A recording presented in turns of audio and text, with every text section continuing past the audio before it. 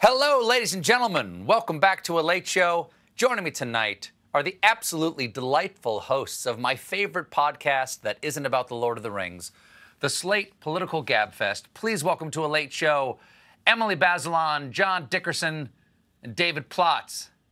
Hello, you three. Hello, Stephen. It's so nice to see you. I normally just hear you on, on Thursdays or Fridays. For the people out there who do not uh, yet know about the Slate Political Gabfest, which is, it was my uh, what's it? It was my gateway drug for podcasts. It was the first podcast I listened to, so all of my podcast addiction is your fault.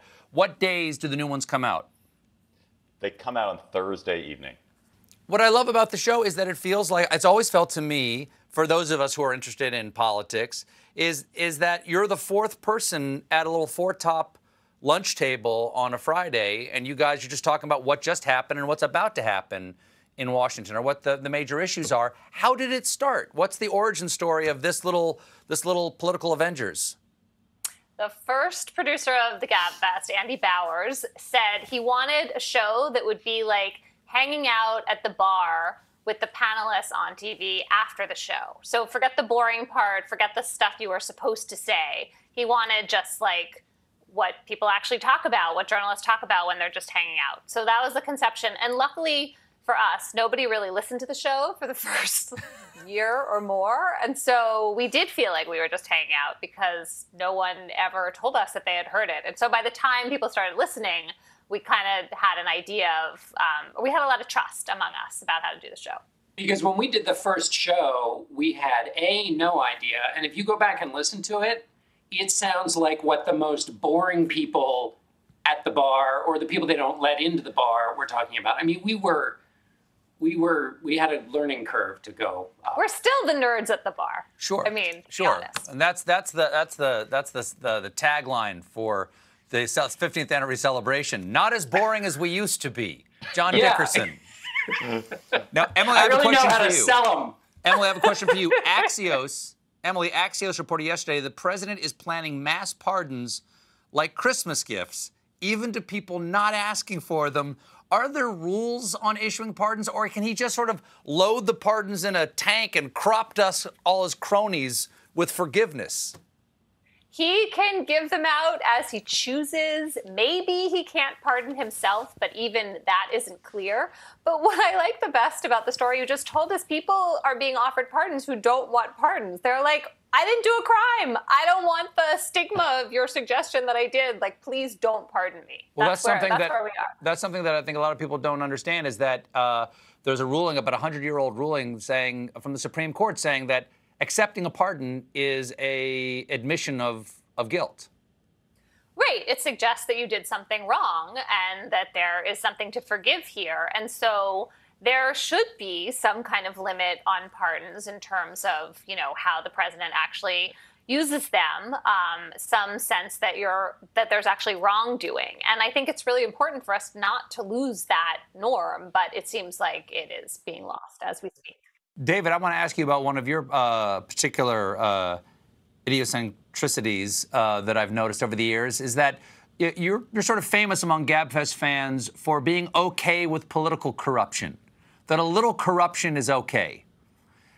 When Trump is out of office, do you think, and this is for everybody, but at first to David, should there be investigations? Because don't you have a sense that this this organization made the Harding administration look like choir boys? And whether or not they're thrown in jail, we should know what happened?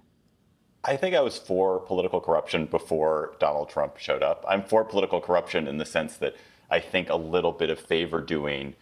Politics is sort of the art of doing favors for each other.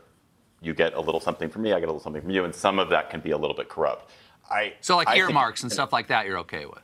100% okay with earmarks. I think what's shocking about what's happening with Trump, we will, we may never know how much is given away, how many people have drilled things, how much soot has been allowed to be dumped into the atmosphere, how much mercury I'm getting to ingest because some Texas uh, company is allowed to pour mercury, and it, it's it's it is horrifying to imagine what they've done. That said, I don't know that I don't know that for the country's good that years of investigation into what the Trumps have done is going to get us very far. But if we uh, don't investigate, if we don't at least look under the rock, then we lose that kind of deterrence, right? Yeah. Then the next people come along and there's this you've you've just lowered the bar for what the next set of politicians feel like they can do.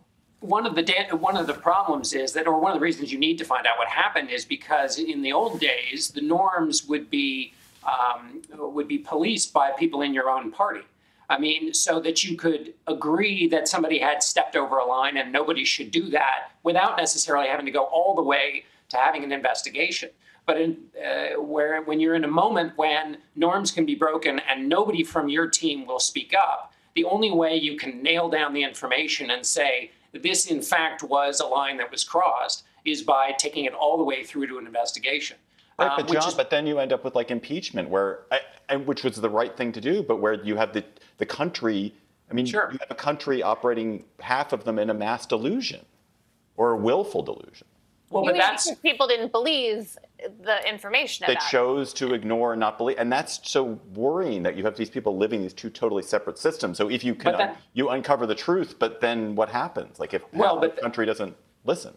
But I mean, if you look at the the, the case being made now, uh, the president's fraudulent case about the election, one of the ways you might be able to argue to somebody that it is truly fraudulent is that the courts have thrown it out with such prejudice. Now, that may not convince millions of people. And one of the dangers of Republican leaders just allowing the president to lie about the election and seemingly to support him is that it allows that idea to sink in.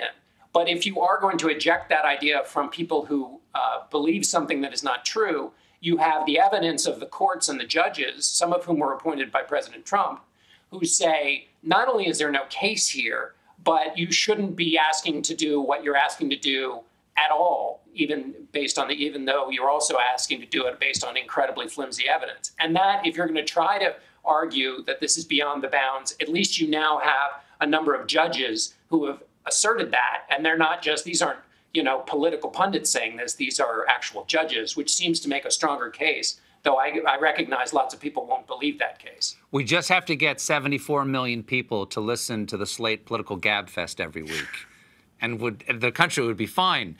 Uh, we have to take a quick break, but when we come back, I will ask the hosts why they think the GOP is going along with the president's claims of election fraud. Stick around.